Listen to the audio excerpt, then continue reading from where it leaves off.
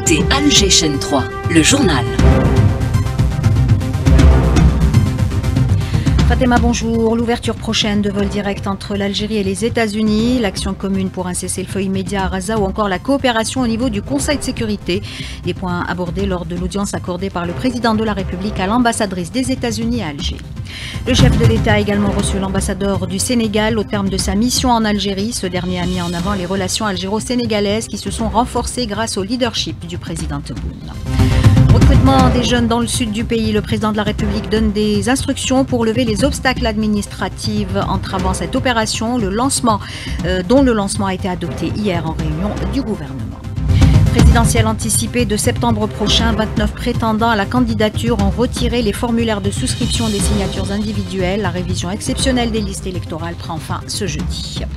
Les bombardements de l'armée sioniste se poursuivent à Raza alors que se profile une guerre entre l'occupant israélien et le Hezbollah libanais. Sport, tombé de rideau à Douala sur le championnat d'Afrique d'athlétisme. La moisson de l'Algérie s'établit à 9 médailles, dont 3 en or. Monsieur, bonjour. La coopération algéro-américaine mise en avant par l'ambassadrice des États-Unis à Alger, Elisabeth Mourobin, a été reçue hier par le président de la République. Plusieurs dossiers ont été abordés lors de cette audience, notamment l'ouverture prochaine de vols directs entre les deux pays, l'action commune pour un cessez-le-feu immédiat à Gaza ou encore la coopération au niveau du Conseil de sécurité. On écoute l'ambassadrice des États-Unis à Alger. Nous valorisons notre étroite coopération dans les domaines économiques, sécuritaires ou culturels. Nous avons également renouvelé notre souhait d'ouvrir prochainement une ligne aérienne directe entre Alger et New York, ce qui permettra d'élever nos relations dans différents domaines à un niveau supérieur. Nous avons également discuté de l'étroite collaboration sur la scène internationale afin de trouver des solutions aux problèmes internationaux, à l'instar de la rencontre entre les présidents Tubon et Biden lors du du sommet du G7 en Italie la semaine dernière. J'ai remercié le président Tebboune pour le soutien de son pays au Conseil de sécurité et l'effort commun pour arriver à un cessez-le-feu immédiat à Gaza. Et les relations algéro-sénégalaises se sont renforcées grâce au leadership et à la vision du président de la République. Déclaration de l'ambassadeur du Sénégal à Alger reçue hier par Abdelmajid Tebboune au terme de sa mission dans le pays. Cyril Dieye revient sur les différents aspects de cette coopération. Nous avons des actions concrètes. Une banque algérienne est fonctionnelle à Dakar. Nous avons le showroom, nous avons la ligne maritime, nous avons également la liaison opérée par Air Algérie. Le Sénégal, c'est presque le seul pays qui a six vols par semaine. C'est extrêmement important. Sans compter maintenant les investissements d'Algériens au Sénégal. Nous avons également les liens culturelles islamiques qui se sont développés puisque nous sommes unis par des liens séculaires. Donc c'est autant d'éléments qui sont déjà là et que mon successeur également va continuer. Je voudrais remercier tous mes amis algériens. Je profite de votre antenne pour leur dire au revoir. Je dis merci encore une fois au peuple algérien. Merci à M. le Président de la République. Coopération algéro-autrichienne, cette fois-ci à la faveur de la visite du chef de la diplomatie algérienne à Vienne. Lors d'une séance de travail avec son homologue autrichien, Ahmed Attaf a évoqué l'urgente nécessité de finaliser les négociations sur les accords bilatéraux actuellement à l'étude et l'importance de l'activation du Conseil d'affaires conjoint pour donner un nouvel élan aux relations entre les deux pays. On écoute Ahmed Attaf. Nous avons insisté lors de notre rencontre sur la volonté de l'Algérie et l'Autriche de renforcer leurs liens historiques. Nous œuvrons à promouvoir les relations bilatérales et ouvrir de nouvelles opportunités de coopération économique et politique. J'ai d'ailleurs fait part au ministre autrichien du renouveau économique en Algérie, sous la direction du président de la République Abdelmajid Tebboune, qui offre de vastes opportunités de coopération dans divers secteurs. Nous avons discuté du projet du corridor Sud H2 pour promouvoir l'hydrogène vert comme il a été convenu d'établir un mémorandum d'entente sur les énergies renouvelables et relancer le Conseil d'affaires mixtes et discuter des questions politiques d'intérêt commun, notamment la situation dans la bande de Gaza. Nous avons réitéré l'engagement des deux pays en faveur du respect du droit international et les principes des Nations Unies.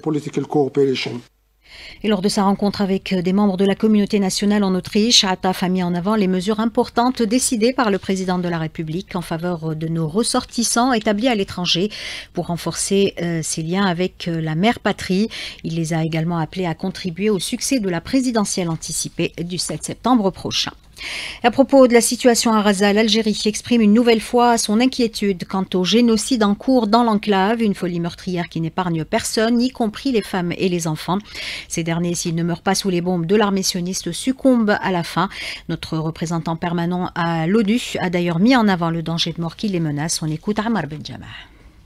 96% des habitants de Gaza, soit près de 2 millions de personnes, souffrent d'insécurité alimentaire sévère. Parmi eux, un demi-million vivent dans une situation catastrophique.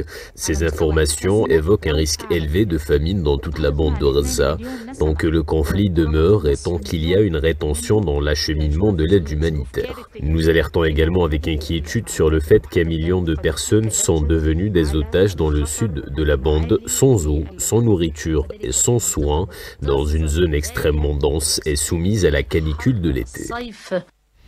8h05 minutes, euh, retour chez nous au recrutement des jeunes dans le pays, dans le sud du pays. Le président de la République a donné des instructions pour lever les obstacles administratifs entravant cette opération. Et c'est dans cette optique justement que le gouvernement a adopté hier lors de sa réunion hebdomadaire une batterie de mesures relatives au lancement euh, d'une opération de recrutement des jeunes au sein des structures du secteur de la jeunesse et des sports dans les wilayas du sud. Cheki Benzaoui. Une opération de recrutement progressive sera lancée selon les capacités disponibles, avec un accent mis sur l'encadrement et la revitalisation des infrastructures sportives et des centres de jeunesse en collaboration avec le Conseil supérieur de la jeunesse. C'est là un engagement du chef de l'État dont l'objectif est de répondre aux besoins locaux et dynamiser les secteurs clés pour assurer un développement durable et inclusif. Le gouvernement a finalisé par la même occasion l'examen du projet de décret exécutif sur le contrôle budgétaire dans le cadre de la réforme de la des finances publiques visant à promouvoir la transparence et la responsabilité ainsi qu'à optimiser les dépenses publiques. Il a également été question de mesures pour renforcer la sécurité alimentaire, en particulier en augmentant les capacités de stockage des céréales. Enfin, le gouvernement a examiné le rapport national sur les risques majeurs de 2023, soulignant l'importance d'une approche proactive et préventive, ainsi que le renforcement du système national de prévention et de lutte contre les incendies de forêt, incluant la mobilisation d'avions bombardiers d'eau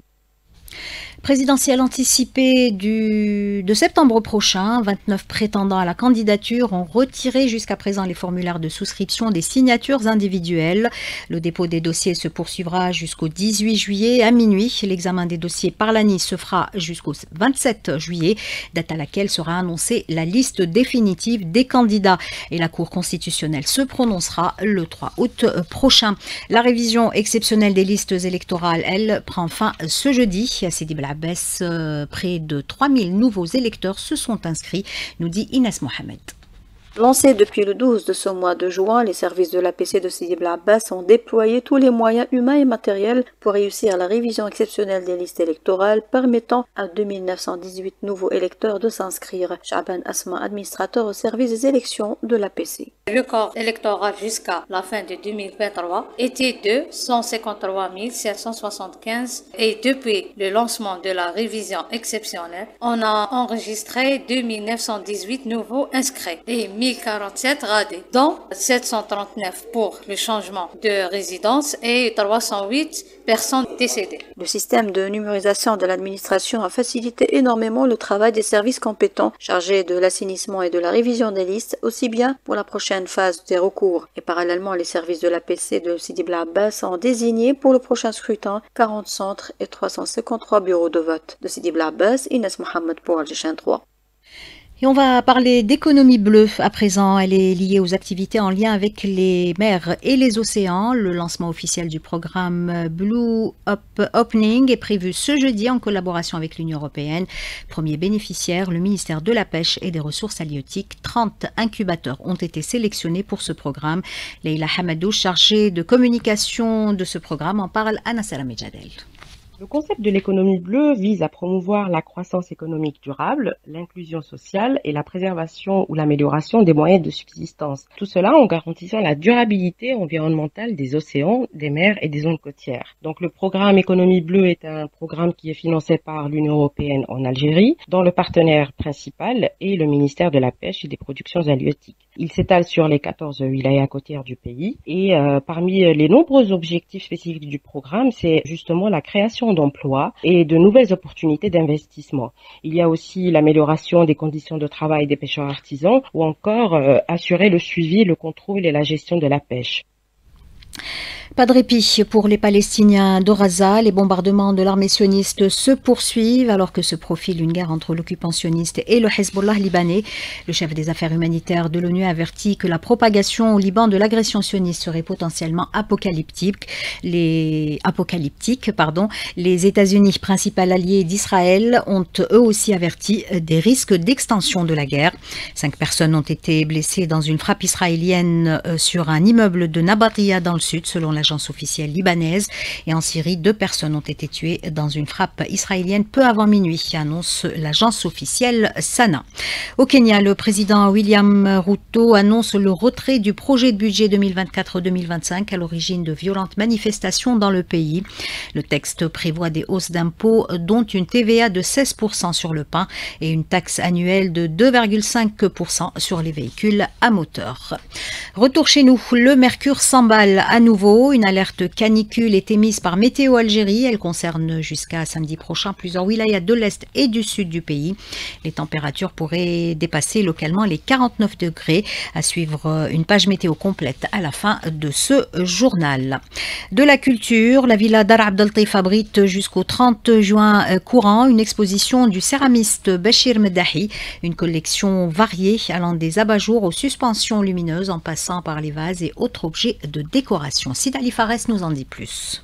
Bachir Mdahi, sortant de l'école des beaux-arts de Azazga, un céramiste avec un sens artistique très développé. Il donne de l'importance au design de ses pièces, mais cela ne l'empêche pas d'être attaché aux traditions. Quand j'ai fait mes études à l'école des beaux-arts, au début j'étais au design. Avec le temps, je me trouvais pas à 100%. Je suis tombé amoureux de l'argile. Je faisais l'atelier design, en même temps je me faufilais dans l'atelier de céramique. Après j'ai décidé de changer totalement la spécialité, j'ai commencé la céramique. C'est un autre monde. Ce qu'on a appris, c'était les bases de la céramique. Comment tu prépares l'argile, tu fais monter une pièce, la cuisson. Après, toi, tu vas faire tes recherches et tu vas faire tes compositions. Quand j'ai terminé ma formation, j'ai commencé à travailler en collaboration. Vous avez réalisé une scénographie à l'entrée de votre exposition. Cette scénographie, à la base, tout ça, c'est des pièces qui sont éclatées dans le four. Au lieu de les jeter, j'ai décidé de les garder et de les représenter de cette manière. Il y avait ce buste, c'est pour ça que j'ai fait la composition, le buste par rapport à la souffrance et au cri de la femme. Je l'ai posé à l'entrée. J'ai installé les pièces, par rapport euh, aux formes et aux collections que j'ai fait. L'artiste céramiste Bachir Mdahi a pour but de transmettre son savoir à d'autres amoureux de la céramique.